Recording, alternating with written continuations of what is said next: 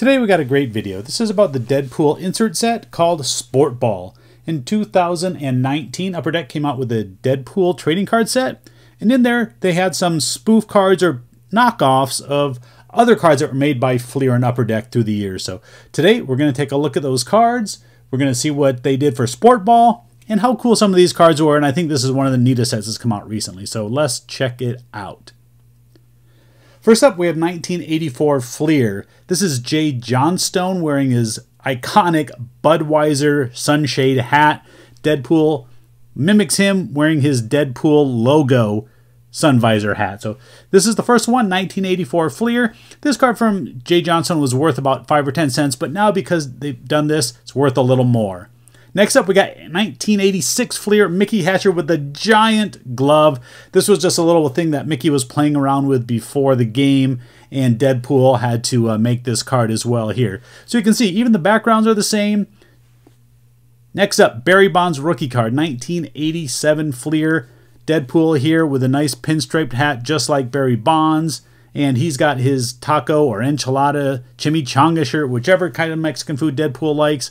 But this uh, is a really cool card here as well.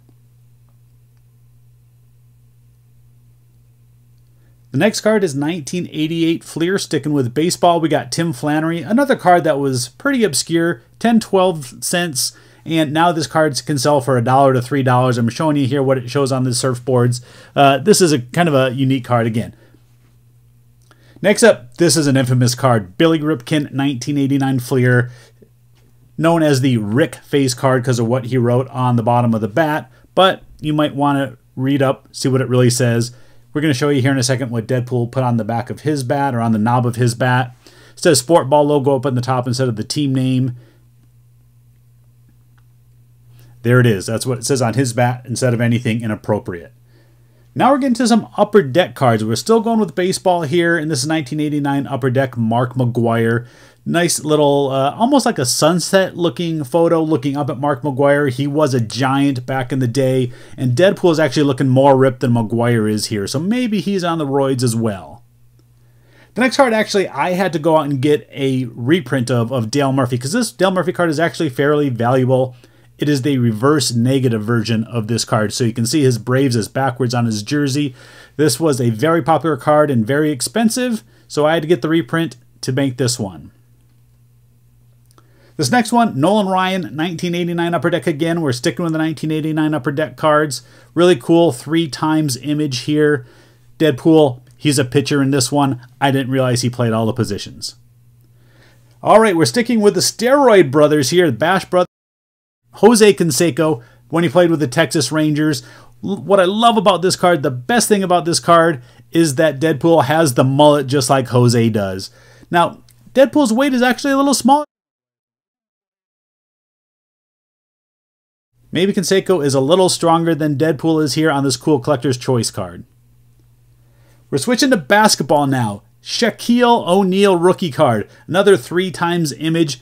Didn't know that Deadpool was a multi sport athlete, but he can dunk too. Has Sport Ball up at the top on his.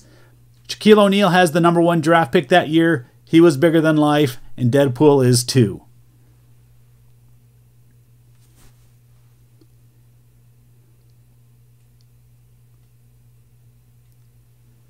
We're going to hockey now. Upper Deck Hockey. Jaromir Jagr rookie. This is a picture from probably when he signed his rookie contract. It was drafted number one overall and uh, he's there probably the commissioner of the league. Deadpool, I'm not positive who this other superhero is. I probably should have looked it up first.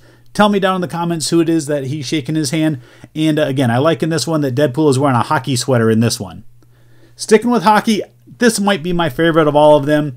Back in the day, Pavel Bure was very popular. This one on the beach where he's rollerblading definitely tells you about the time. Didn't know that Deadpool could roller skate, play hockey, all while in his full Marvel gear.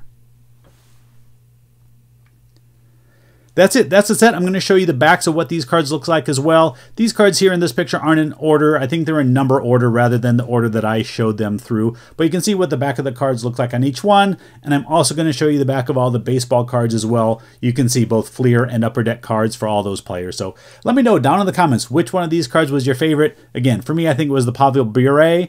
Let me know give the video a thumbs up, hit subscribe if you like kind of fun content like this. I appreciate y'all for watching. See you next time.